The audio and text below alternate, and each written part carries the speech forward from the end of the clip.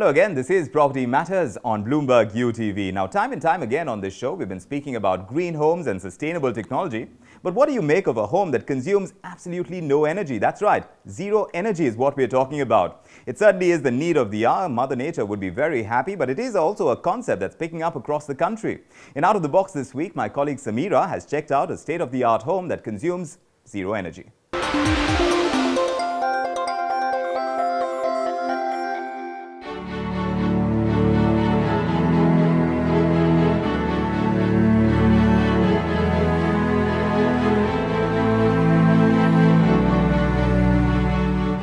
Hi, I'm Sheetal Rakheja, partners in uh, design and development, which is uh, the main architect for this house, which is uh, being put across by 3C developers.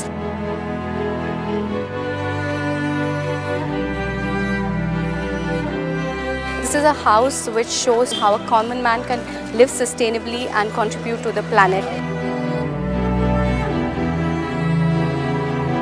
Let me show you this house, which is called Shunya.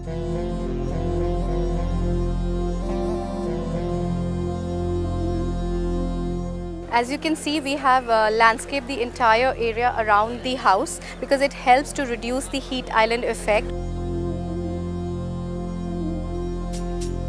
The species that we have chosen for landscaping is all native plants and they consume very less water.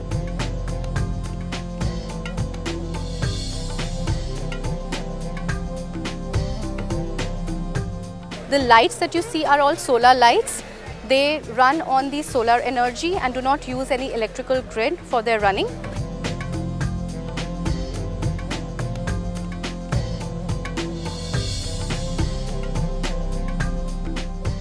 To offset the building footprint that the building has done on the uh, earth, destroyed the earth, you can offset that by doing this vertical landscaping. This not only helps to reduce the heat island effect and if this is put against your building, it also acts as an insulation and reduces the heat which goes into the building.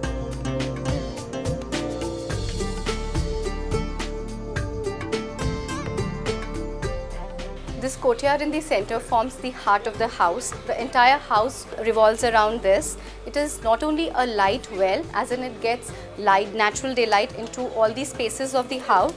It also is a beautiful view to look at as well as it helps in natural ventilation of the house. All these windows that you see open into this court, so all the ventilation happens through this. The coat is shaded on top by these louvers which are adjustable. So during summers we can cut off the glare and still get in the light and in winters it allows more light and heat to come in.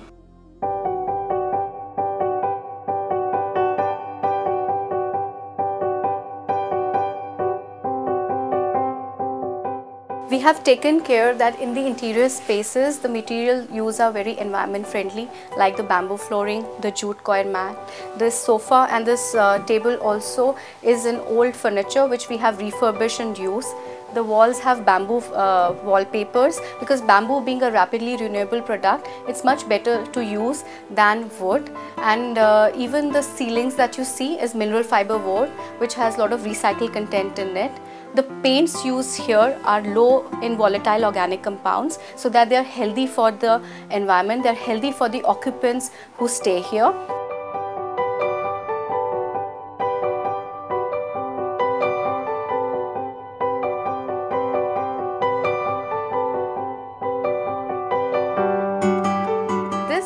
Is right now connected to our online BMS system and it is showing online what are the various electrical usages of the different systems which is consuming more electricity, which is consuming less electricity, how much power is being supplied by the solar, uh, solar panels, everything is being monitored. So it helps the residents to notice and see what is happening in the house and if where all they need to reduce their electrical consumption. So it is very, very useful for them.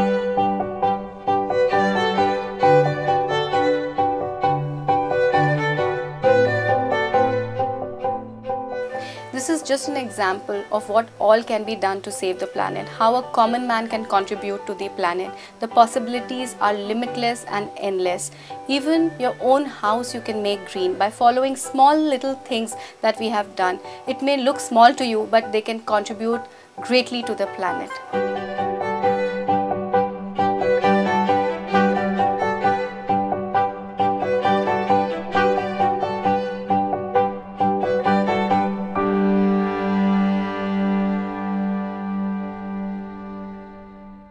There you go, certain good design ideas, match it with great technology, and what you get at the end of the day is a home that uses zero energy. Wouldn't we all like that?